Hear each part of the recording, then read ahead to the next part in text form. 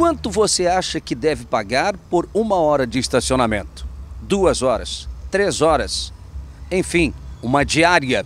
Qual o preço justo que você acha que deve pagar?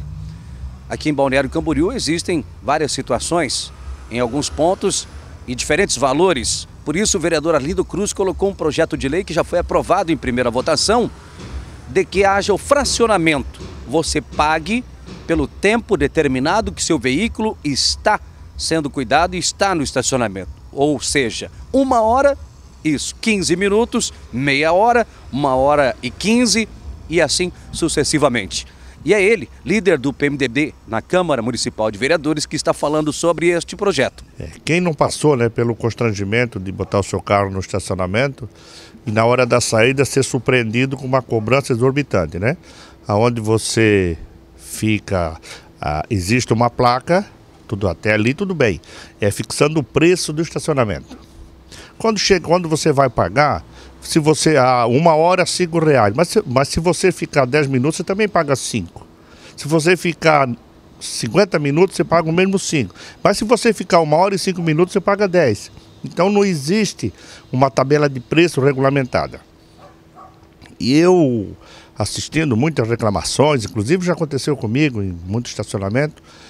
É, acabei estudando a matéria e vindo, vendo na, em muitas cidades que já existe a, o, o, o estacionamento fracionado, acabei fazendo esse projeto, instituindo ele no município e já foi votado em primeira votação, foram por, por, unanimidade e deve ir por esses dias em segunda votação. Passando em segunda votação, é possível que haja uma regularização, uma própria fiscalização, um acordo com os proprietários de estacionamentos para que haja o fracionamento? É, e eu acho que o próprio proprietário do estacionamento também ele quer isso certo? Porque ele não vai ter essa, esse, esse desprazer de, de receber o, o, nosso turista, receber as pessoas que nos visitam, a própria pessoa que mora no Balneário Camboriú, de chegar lá no, no, no estacionamento e ter que cobrar esse, essa, essa tabela cheia.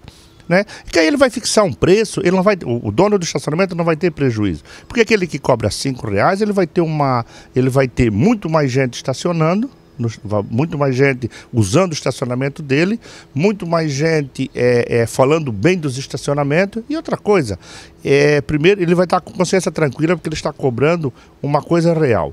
Você vê que quando você visita os shoppings da cidade, que você. É, o, o, o, a, o preço deles não é caro certo? Se você for, se for a hora, porque é dois reais a hora. Só que eles têm uma tabela, uma conta que não fecha, uma conta de seis, por exemplo, nós temos aqui próximo shopping que cobra seis reais por três horas. Só se você ficar 10 minutos, também paga três horas. Então, a, os seis reais. Então, na verdade, você não está pagando seis reais é, a hora do, do estacionamento do shopping, ou de qualquer um que seja. Você está pagando um preço abusivo.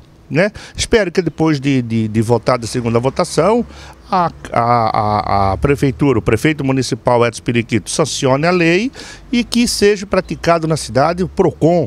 Vai ser notificado sobre isso também. Esse projeto, inclusive, foi baseado na lei do PROCON, certo? Na lei do consumidor e que seja fiscalizado e que as, que as pessoas que montem o seu estacionamento. E, e, outra coisa, nós temos que incentivar as pessoas que montam estacionamento. E essa, esse projeto não é, não é para correr nem para ser contra os estacionamentos, não.